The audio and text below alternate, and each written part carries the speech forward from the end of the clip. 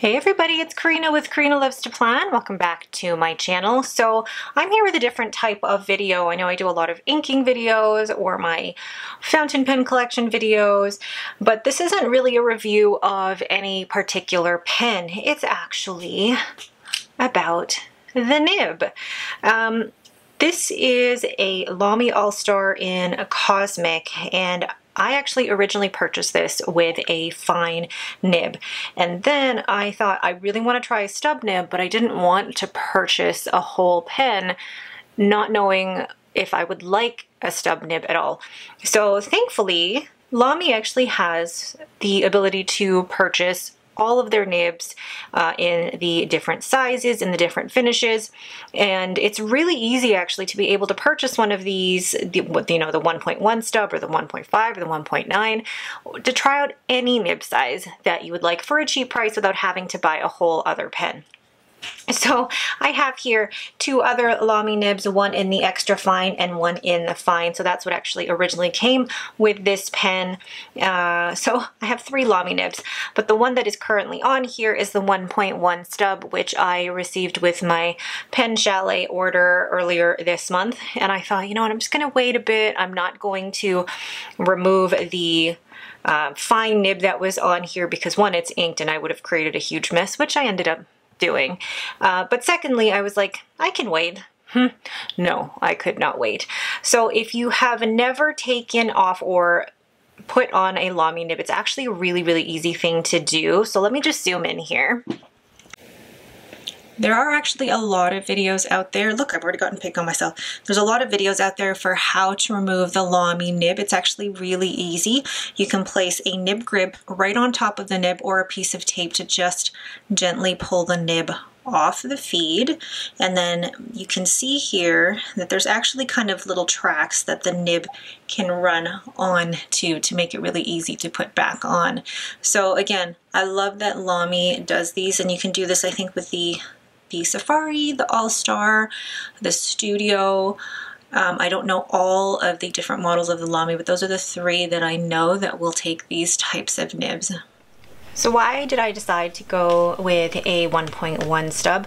Well, really, it was just to try it out to basically have a little bit of fun with the nibs. You know, I'm having fun with the extra fine and fine and finding that I am actually preferring nibs that are slightly broader and slightly wetter.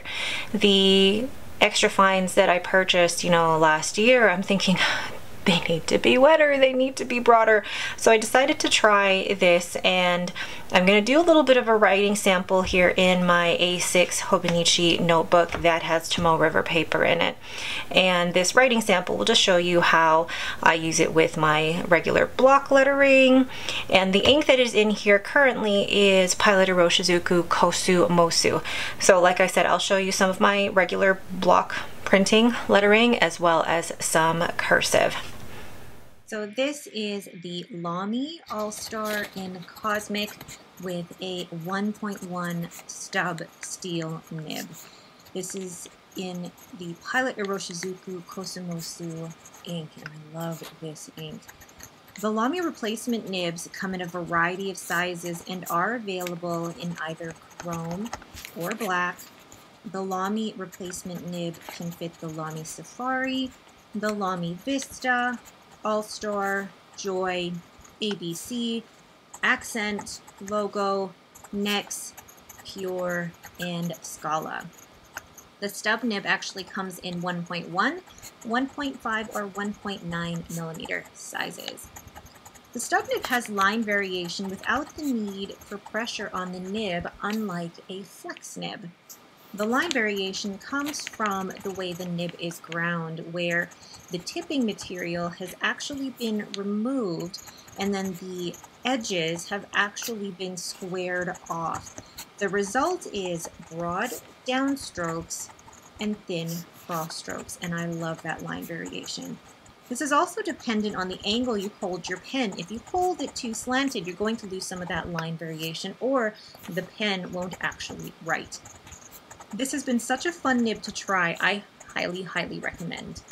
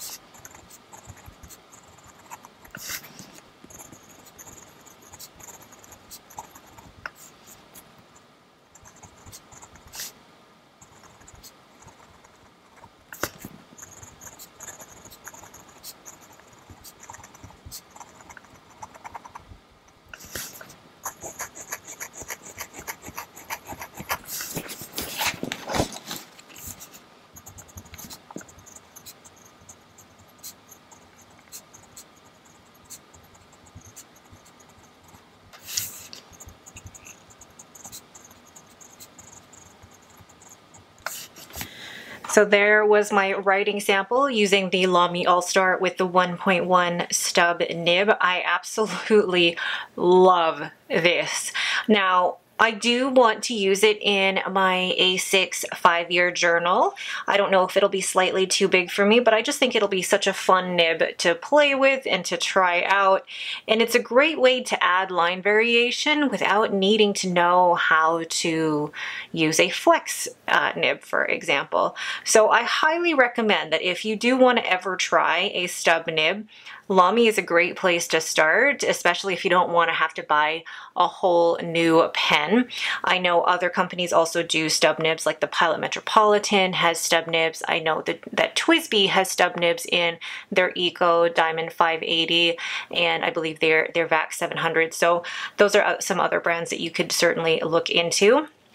Now, I also did some research. Um, Goulet Pens has a great video on stub nibs, which I will put in the description below as well, and that helped me figure out whether it was something that I would actually like. So I highly recommend giving a stub nib a try if you haven't done so already. Um, but that is it for me. I hope you guys enjoyed a little bit of that ASMR writing sample. If you guys have any questions, please leave them in the comments below. If you are interested in trying out a stub nib, I know Pen Chalet has them and I do have a link in the description below for 10% off your first order with Pen Chalet.